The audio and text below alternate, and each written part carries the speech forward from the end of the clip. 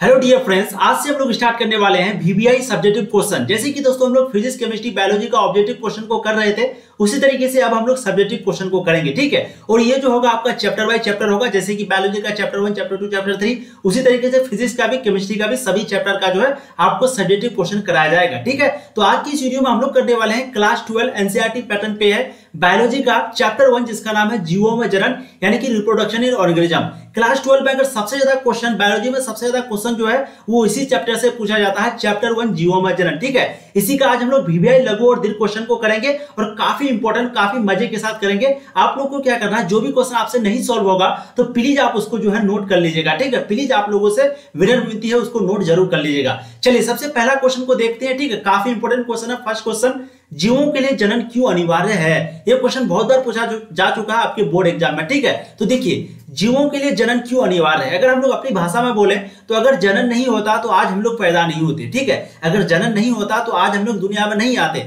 अगर जनन नहीं होता तो ये दुनिया जो चल रही है, जो खरीद बिक्री हो रही है, जो ये हो रही है, ये सब कुछ खत्म हो चुकी होती है दुनिया खत्म हो चुकी होती। इसलिए जनन बहुत अनिवार्य है। लेकिन हम लोग किताबी लैंग्वेज में भाषा को यानी कि इसका आंसर देंगे तो जीवों के लिए जनन क्यों अनिवार्य है? जनन जीवों का एक अति महत्वपूर्ण लक्षण है। यह एक अति आवश्यक जैविक प्रक्रिया है। इतना इजी लैंग्वेज है दोस्तों, अगर मैं इसको सिर्फ़ पढ़ दूँगा तो आपको समझ में आ जाएगा। ठीक है, इसलिए आप लोग ध्यान से अपने से पढ़िए या फिर मेरा बात को सुनिए। जिसके द्वारा ना सिर्फ़ जीवों की उत्तर जीविता में मदद मिलती है, बल्कि इससे जीव जाति की निरंतरता भी बनी रहती है। जनन जीवों के अमरत्व में भी सहायक होता है। प्राकृतिक मृत्यु, व्यता से जीनरता के कारण होने वाले जीव ह्रास की आपूर्ति जनन द्वारा ही होती है। जनन से जीवों की संख्या बढ़ती है। जनन एक ऐसा माध्यम है जिसके द्वारा लाभदायक विभिन्नता एक पीढ़ी से लेकर के दूसरे पीढ़ी तक स्थानांतरित होती है। यानी कि एक जगह से एक पीढ़ी से, यानी कि जो अभी, जो हम लोगों का दादा परदादा था, उसका जो है हम लोगों का पापा को मिला। अब जो पापा को मिलेगा, वो हमको मिलेगा। तो एक पीढ़ी से दूसरी पीढ़ी तक स्थानांतरित होती रहती है, स्थानांतरित होती रहती है। जनन और विकास में भी सहायक होता है। इन समस्त कारणों के आधार पर हम कह सकते हैं कि जनन जो है वो जीनों की मतलब कि जनन जो है वो जीवों के लिए बहुत ज़्यादा अनिवार्य है, ठीक है? तो ये चीज़ आपको समझ में आएगी कि क्यों भाई ये ज़रूरी है, जनन जो है वो क्यों ज़रूरी है? अगर आप लोग को समझ में नहीं आया तो दोबारा इसको पढ़ लीजिए, आपको समझ में आ जाएगा। मैं वीडियो को ज़्यादा लंबा नहीं बनाऊँगा। अब देखिए next question question number two जनन की अच्छी विधि कौन सी है और क्यों है? दोनों क्वेश्चन पूछा जा चुका है। जनन की अच्छी विधि कौन सी है और क्यों? देखिए प्राय लैंगिक जनन, यानी कि सेक्सुअल रिप्रोडक्शन जो है, वो जनन की सर्वश्रेष्ठ विधि माना गया है, ठीक है? किसको? लैंगिक जनन को, ना कि अलैंगिक जनन को। तो लैंगिक जनन को जो है, जनन की सर्वश्रेष्ठ विधि माना गया है। अब भाई, क्यों माना गया है उसको अच्छी विधि? देखिए, लैंगिक जनन के दौरान गुणसूत्रों की अदला बदली होती है, सबसे पहली बात, जिसमें युग्मकों में, यानी कि जिसको हम लोग बोलते हैं गैमेट्स में, नए लक्षण विकसित होते हैं, तथा नए जीव का विकास होता है, जो अपने जनकों से भिन्न होता है। अतः लैंगिक जनन जैव विकास में सहायक होता है। लैंगिक जनन द्वारा जीवों में, जीवों के जीवित रहने के अवसर भी जो है, वो अधिक हो जाते हैं। अगर लैंगिक जनन से कोई पैदा होता है तो उसका जो जीवन जीने का अवसर है, अवधि है, अगर वो दस साल, यानी कि वो अगर अलैंगिक जनन से दो साल जीता तो लैंगिक जनन से वो हंड्रेड परसेंट है, बीस साल जिएगा। ठीक है? तो यही चीज़ है लैंगिक जनन द्वारा जीवों के जीवित रहने का जो अवसर है मतलब कि अधिक हो जाती है और क्योंकि आनुवंशिक विभिन्नताओं के कारण जीव जो है वो अधिक क्षमतावान होता है और लैंगिक जनन से जीवों की संख्या भी बढ़ती है, अतः लैंगिक जनन ही जनन की अच्छी विधि है। ठीक है? तो जनन की अच्छी विधि कौन सी है?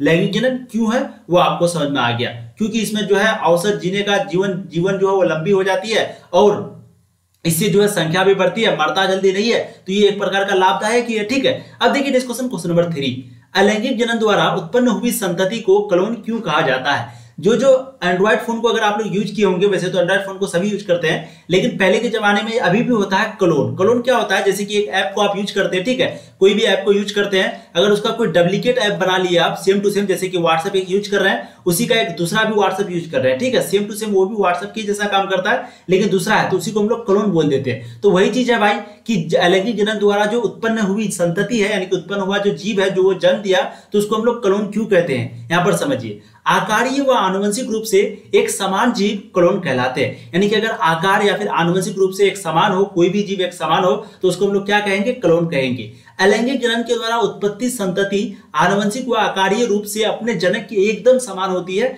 अतः इसे हम लोग क्लोन कहते हैं, ठीक है? तो आकार और आनुवंशिक रूप से कोई भी जीव समान होगा तो उसको हम लोग क्या कहेंगे? क्लोन कहेंगे। इंग्लिश में भी क्लोन कहते हैं और हिंदी में भी उसको क्लोन ही बोलते हैं। अब देखिए इस क्वेश्चन क्वेश्चन नंबर फोर, थोड़ा इंपोर्टेंट है, ध्यान दीजिए। देखिए, लैंगिक जनन के परिणाम स्वरूप बनी संतति के जीवित रहने से अच्छे अवसर होते हैं। क्यों? क्या यह कथन हर समय सही होता है? मतलब लैंगिक जनन, जैसे कि हम लोग पढ़े कि भाई लैंगिक जनन जो बहुत अच्छा है, बहुत अच्छी बात है। इसमें जो जीवित रहने का जो अवसर है वो ज़्यादा हो जाता है। अलैंगिक जनन के कंपेरिजन में, ठीक है? अलैंगिक जनन के कंपेरिजन में क्या यह कथन जो है सही है? अगर है तो क्यों है? ठीक है उत्तर देखिए। लैंगिक जनन के दौरान गुणसूत्रों का विनिमय होने से आनुवंशिक विभिन्नताएँ उत्पन्न होती है, ठीक है? तो लैंगिक जनन के दौरान गुणसूत्रों का विनिमय होने से आनुवंशिक विभिन्नताएँ होती है। जो जनक से संतति में स्थानांतरित होती है युग्मकों की उत्पत्ति व निषेचन के कारण नए तथा बेहतर गुणों युक्त संतति का जन्म होता है। अतः लैंगिक जनन के परिणाम स्वरूप उत्पत्ति संतति के जीवित रहने के अवसर जो है वो अच्छे हो हो जाते हैं। ठीक है? और ये कथन जो है वो हमेशा सही नहीं होता है। जनक जनकों के रोगग्रस्त होने पर वह रोग आने वाली पीढ़ियों में स्थानांतरित हो जाता है। और जो जनक जो पैदा होने वाला, जिसने जन्म दिया, अगर उसको कोई रोग है तो वो रोग जो है, सभी को होने लगता है, ठीक है? तो कहीं कहीं पे लैंगिक जनन जो है, वो सही नहीं है, वो इसी जगह है। अगर उसको कोई बीमारी हो, एड्स वगैरह का बीमारी होता है, जैसे कि आप लोग जानते हैं, अगर एड्स का बीमारी पति को हो तो पति से पत्नी में चली जाती है, पत्नी से बच्चा में चला जाता है, ठीक है? तो कुछ इस प्रकार का होता है, लैंगिक जनन में थोड़ा सा घाटा। लेकिन इसका जीवन जो अवधि है, वो ज़्यादा हो जाता है, लैंगिक जनन में, ठीक है? जनसंख्या बढ़ता है, लैंगिक जनन में।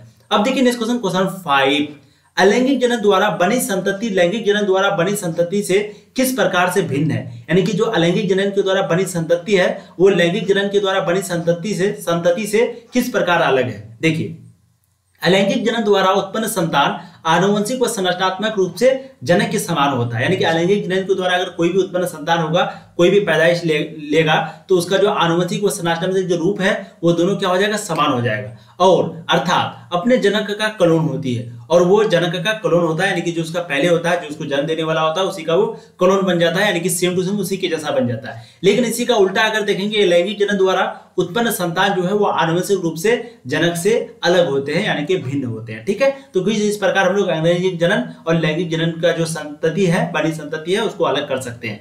अब देखिए नेक्स्ट क्वेश्चन क्वेश्चन आपका सिक्स काफ़ी इंपोर्टेंट है, ध्यान दीजिए। अलैंगिक तथा लैंगिक जनन के मध्य विभेद स्थापित करें। यानी कि अलैंगिक और लैंगिक जनन के बीच का आपको अंतर पूछना है, ये भी क्वेश्चन बहुत बार पूछा जा चुका है। और कायिक जनन को प्रारूप अलैंगिक जनन क्यों माना गया? और ये जो कायिक जनन है, इसको हम लोग प्रारूप अलैंगिक जनन क्यों माने? इस पर भी चर्चा करें, ठीक है? तो अलैंगिक और अलैंगिक और लैंगिक जनन में जो कुछ विभेद है, कुछ अंतर है, वो निम्न है। आप यहाँ पर ध्यान से देखिए। सबसे पहला पॉइंट है आपका अलैंगिक जनन उसके बाद है लैंगिक जनन मैं कलर को थोड़ा चेंज करता हूँ, जिसको कि आपको समझ में आए। देखिए अलैंगिक जनन में क्या होता है? इसमें सिर्फ़ एक जनक भाग लेता है। अलैंगिक जनन में सिर्फ़ एक जनक होता है, लेकिन लैंगिक जनन में दो जनक होता है, नर और मादा, ठीक है? जब तक नर और मादा नहीं होगा, उसमें लैंगिक जनन उसको नहीं बोलेंगे तो नर और मादा चाहिए लैंगिक जनन के लिए। वह पे अलैंगिक जनन के लिए सिर्फ़ एक ही काफ़ी है, ठीक है?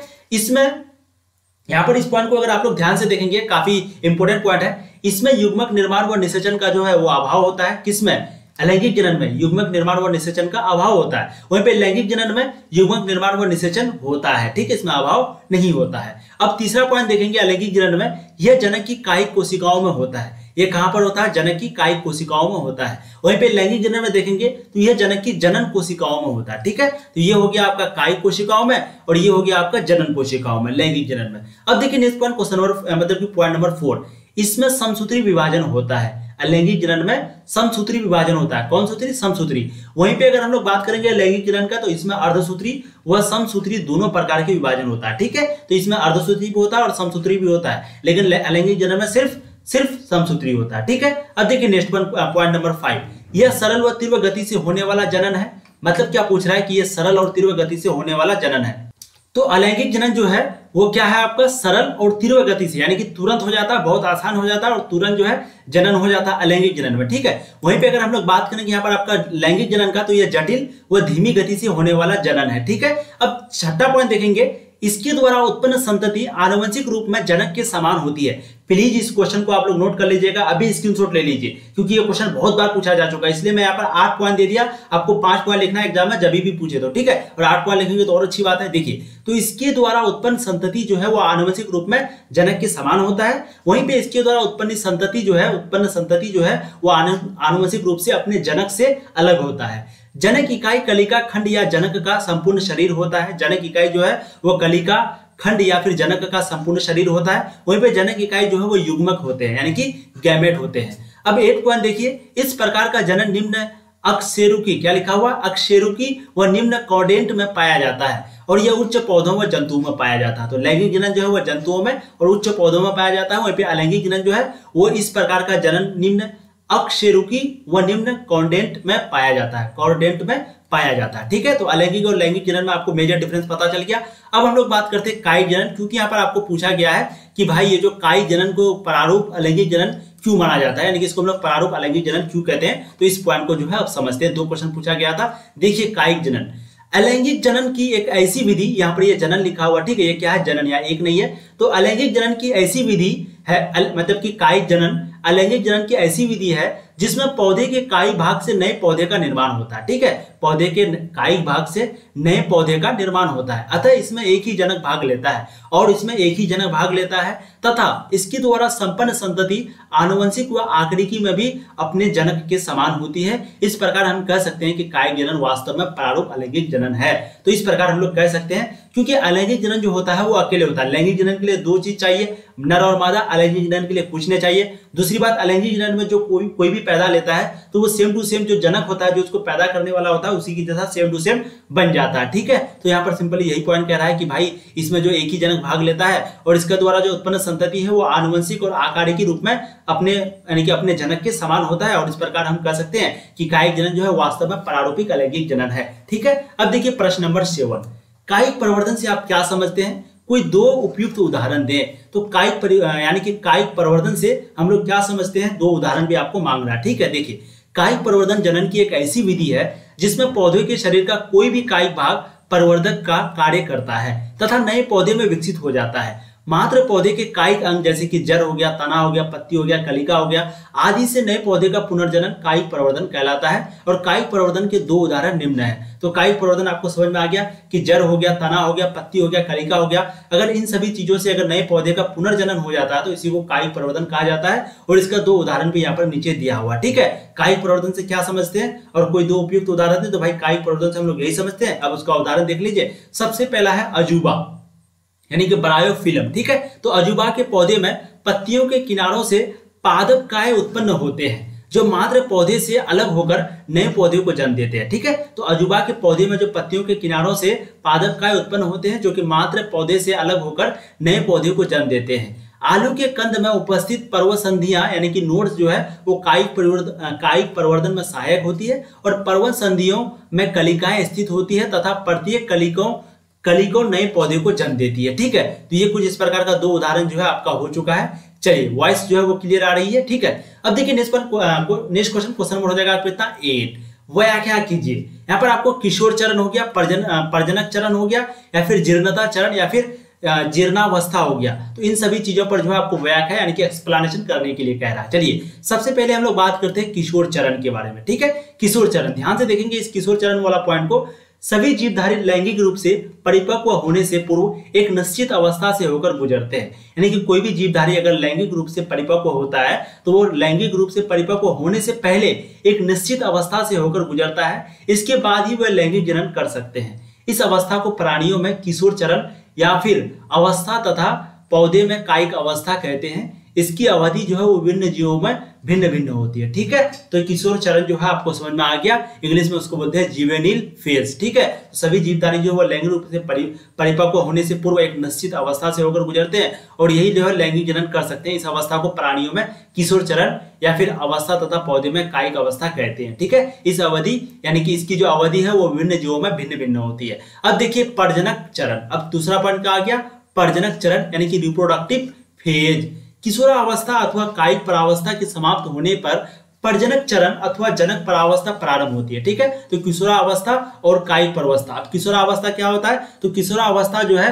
वो होता है आपका दोस्तों, बारह साल से लेकर के उन्नीस साल तक, इसको शायद हाँ इसी को बोलते हैं किशोरावस्था ठीक है? तो किशोरावस्था जो है, बारह साल से बीस साल या फिर उन्नीस साल होगा। तो किशोरावस्था अथवा कायिक परावस्था के समाप्त होने पर प्रजनक चरण अथवा जनक प्रावस्था प्रारंभ हो जाता है, ठीक है? जिसको हम लोग प्रजनक चरण भी बोलते हैं या फिर जनक प्रावस्था बोलते हैं, ये जो है आपका शुरू हो जाती है और पौधे में इस अवस्था को स्पष्ट पहचाना जा सकता है, क्योंकि पौधे में पुष्पन यानी कि फ्लोरिंग प्रारंभ हो जाता है और प्राणियों में भी अनेक शारीरिक एवं आकारिकी परिवर्तन आ जाते हैं। इस चरण में जीव जो है वो संतति उत्पन्न करने योग्य हो जाता है, यह अवस्था विभिन्न जीवों में अलग अलग होती है। तो कुछ इस प्रकार का प्रजनक चरण हो गया। अब बात करते हैं जीर्णता चरण या फिर जीर्ण अवस्था जिसको हम लोग बोलते हैं सेनेसेंट क्या लिखा हुआ है? सेनेसेंट ठीक है? सेनेसेंट फ़ेज़ तो जीर्णता चरण या फिर जीर्ण अवस्था जो है, जीर्णावस्था जो है, वो क्या होता है? देखिए यह जीवन चक्र की अंतिम अवस्था अथवा तीसरी अवस्था होती है। कौन? ये जीर्णता जो है, वो जीवन चक्र की अंतिम अवस्था अच्छा अथवा तीसरी अवस्था होती है। प्रजनन आयु की समाप्ति को जीर्णता चरण या फिर जीर्ण अवस्था का प्रारंभिक अवस्था माना जा सकता है। इस चरण में उपापचय क्रियाएँ जो है वो मंद होने लगती है उत्तकों का क्षय होने लगता है, तथा शरीर के अंग धीरे धीरे कार्य करना बंद कर देते हैं, और अंततः जीव की जो है मृत्यु हो जाती है। इसे ही हम लोग वृद्धावस्था भी कहते हैं। तो कुछ इस प्रकार का जो है घटना यहाँ पर हुआ, जीर्णता या फिर चरण या फिर जीर्णावस्था, दोनों चीज़ जीर्णा जीर्णता चरण या फिर जीर्णावस्था, यानी कि सेसेंट फ़ेज़, ठीक है? तो कुछ इस प्रकार हम लोग किशोर चरण, प्रजनक चरण और जीर्णता चरण के बारे में पढ़ चुके हैं। अब नेक्स्ट क्वेश्चन देखिए क्वेश्चन नंबर नाइन अभी तक अगर चैनल को सब्सक्राइब नहीं किए तो चैनल को सब्सक्राइब कर दीजिए, क्योंकि इसी तरीके से आपको ट्वेल्थ क्लास की कंप्लीट तैयारी कराई जाती है। पहले ऑब्जेक्टिव कराई जा रही है, फिर उसके बाद आपका सब्जेक्टिव भी शुरू हो चुका है, ठीक है? और वीडियो को एक बार अपने जम के दोस्तों को शेयर कर दीजिए टेलीग्राम में इंस्टाग्राम में, जहाँ पर भी हो व्हाट्सएप में व्हाट्सएप स्टेटस में, एक बार अपने दोस्तों को जम करके शेयर कर दीजिए। अब देखिए next question question number nine अपनी जटिलता के बावजूद बड़े जीवों ने लैंगिक प्रजनन को पाया है क्यों? यानी कि बहुत ज़्यादा जटिलता के बावजूद बड़े जो जीव हैं, वो किसको पाया है? लैंगिक प्रजनन को। क्यों पाया आखिर? तो देखते हैं, देखिए, लैंगिक प्रजनन जो है वो जटिल तथा धीमी गति से होने के बावजूद भी अनेक रूप से उत्तम होता है, ठीक है? लैंगिक जनन जो है वो जटिल और धीमी गति से होता है, लैंगिक जनन जो है वो जल्दी होता है और सरल होता है और जल्दी होता है, ठीक है? वहीं पे लैंगिक जनन जो है वो क्या हो जाता है, उसका विपरीत जटिल हो जाता है और धीमी गति हो जाता है। फिर भी रूप इसी, यानी कि लोग जो है इसी को उत्तम मानते हैं। इस प्रकार के जनक के दौरान गुणसूत्रों का जो है विनिमय होने से नए लक्षण विकसित होते हैं। विनिमय मतलब क्या हो गया? एक प्रकार का अदला बदली समझ सकते हैं। तो गुणसूत्र का जो विनिमय है तो उस प्रकार जो है लक्षण जो है, नए लक्षण का विकसित होना शुरू हो जाता है, जो कि पीढ़ी दर पीढ़ी स्थानांतरित होते रहते हैं और जो कि उसका दादा से पापा पापा से बेटा इस तरीके से जो है बदलते रहती है, एक जगह से दूसरी जगह जाती रहती है, यानी कि स्थानांतरित होते रहते हैं, ठीक है? और गुणसूत्रों के आदान प्रदान से विभिन्नताएँ भी उत्पन्न होती है और गुणसूत्रों के आदान प्रदान से जो विभिन्नताएँ भी उत्पन्न होती है, जो कि जैव विकास में सहायक होती है अपने इन्हीं गुणों के कारण बड़े जीवों में लैंगिक जनन पाया जाता है, ठीक है? और ये अपनी, यानी कि किसमें तो ये जैव विकास में सहायक होती है और इन्हीं गुणों के कारण जो है बड़े जीवों में लैंगिक जनन पाया जाता है। तो आपको समझ में आ गया लैंगिक जनन क्यों पाया जाता है बड़े जीवों में? ठीक है, अब देखिए next question question number ten यहाँ पर ध्यान से देखिए क्वेश्चन नंबर टेन को काफ़ी इंपोर्टेंट है, ये क्वेश्चन नंबर टेन भी, और थोड़ा सा बड़ा भी है, इसको देखेंगे और ये इस वीडियो का लास्ट क्वेश्चन है। और इंपॉर्टेंट है प्लीज़ समझिए। देखिए, व्याख्या करके बताइए कि अर्धश्रुति विभाजन तथा युग्म जनन सदैव अंतर संबंधित अंतर अंतर्बद्ध होते हैं, यानी कि व्याख्या करने के लिए कह रहा है कि अर्धसूत्री विभाजन जो है, वो क्या लिखा हुआ युग्मक जनन सदैव अंतर संबंधित, यानी कि अंतर्बद्ध होते हैं। देखिए, लैंगिक जनन करने वाले जीवधारियों में प्रजनन के समय अर्धसूत्री विभाजन, यानी कि म्योसिस तथा युग्मक जनक, यानी कि गेमेटोजेनेसिस प्रक्रियाएँ होती है। सामान्यतः लैंगिक जनन करने वाले जीव जो है, वो द्विगुणित होते हैं, यानी कि डेप्लॉइड और युग्मक निर्माण प्रक्रिया को युग्मक क्या लिखा हुआ है? युग्मक जनन यानी कि गेमटोजेनेसिस कहते हैं, ठीक है? शुक्र शुक्राणुओं के निर्माण को शुक्रजनन तथा अंडाणुओं के निर्माण को अंडजनन कहते हैं। इनका निर्माण जो है वह क्रमशः नर तथा मादा जंदो, यानी कि गुणांश में होता है। युग्मकों में गुणसूत्रों की संख्या आधी रह जाती है, ठीक है? तो कुछ इस प्रकार का जो है यहाँ पर व्याख्या करके बता रहे हैं कि अर्धसूत्री विभाजन जो है वो युग्म सदैव अंत संबंधित होते हैं, ठीक है? अब यहाँ पर थोड़ा सा और देखिए देखिए, अर्थात युग्मन जो है वो अगुणित यानी कि हैप्लॉइड होते हैं और युग्म, युग्मक जनन जो है वो प्रक्रिया अर्धसूत्री अर्धसूत्री विभाजन द्वारा होती है। अतः युग्मन जनन तथा अर्धसूत्री विभाजन क्रियाएँ जो है वो अंतर, क्या लिखा हुआ? अंतर संबंधित, अंतर्बद्ध होती है। निषेचन के फलस्वरूप नर तथा मादा अगुणित युग्मक अगुणित युग्मक संयुग्मन द्वारा द्विगुणित परमाणु यानी कि डिप्लॉयड जायगोट बनाता है। द्विगुणित युग्माणु से भ्रूणीय परिवर्तन द्वारा नए जीव का विकास होता है। तो आज दोस्तों हम लोगों ने क्वेश्चन नंबर टेन तक कवर किया था। उम्मीद करता हूँ आप लोगों को ये काफ़ी मज़ा आ रहा होगा।